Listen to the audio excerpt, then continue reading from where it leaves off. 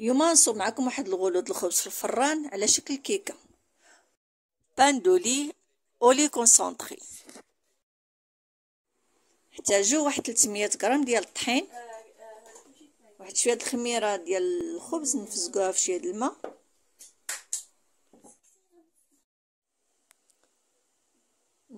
نحتاجو نزيدو واحد البيضة. جوج معالق كبار السنيدة. شوية د الملحة. وكنزيدو هاد الخميرة اللي فزقنا في الماء. نص كاس الحليب. نخلطو.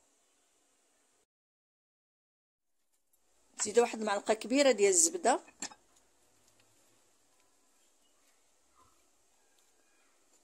ونزيدو ثمن واحد جوج معالق كبار ديال حليب مركز.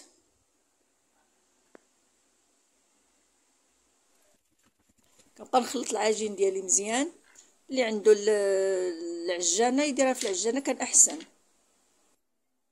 نغطيوها ونخليوها واحد 15 دقيقة على ما تطلق راسها. هنا خديت كاس ديال الحليب زدت له ملح بيضه ومعلقه ديال الحليب مركز كنديرهم فوق البوطة كي يعقدوا وكنخليهم جنب حتى كيبردوا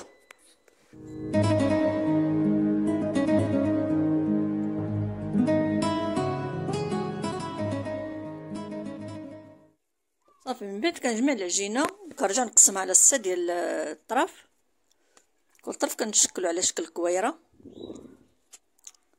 وكنديرو الطحين لأن العجينه كتلصق شويش ما تلصقناش على الطابلة تساعدنا في في الخدمة ديالنا. هنا كنبسط الكويرة الأولى اللي اللي صيبت ديال العجين في الجنيب كنحط واحد المعلقة ديال الكريم اللي صيبت بالحليب كونسونطري وكندير عليها شوية ديال الزبيب. نطويها بالشكل اللي كتشوفوا وكنجم وكنقطع لها ديك الحواف الحواف. كيف كتلاحظوا؟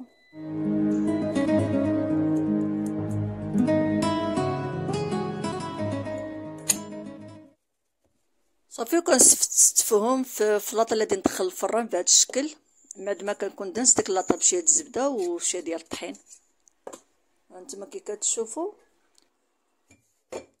صافي ونغطي العجينه ديالنا تخمر واحد الساعة المكانة ساعة الا ربع على حساب الجو.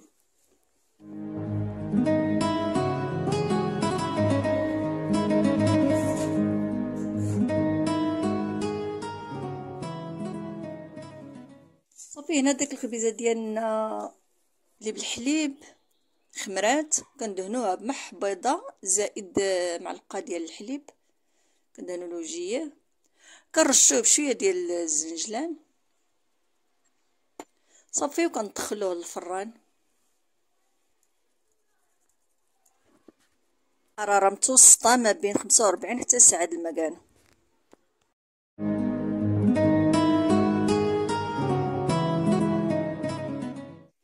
من بعد ما خرجتها من الفران شوفوا الشكل ديالها كي كتجي كتجي طالعة ومفشفشة ومحمرة غزالة ما شهيتكم فيها. وبالصحة والراحة. ربي ينوركم ما تنساونيش باللايكات والبارطاج و... وإن شاء الله الجديد دائما. مع شين فائزة.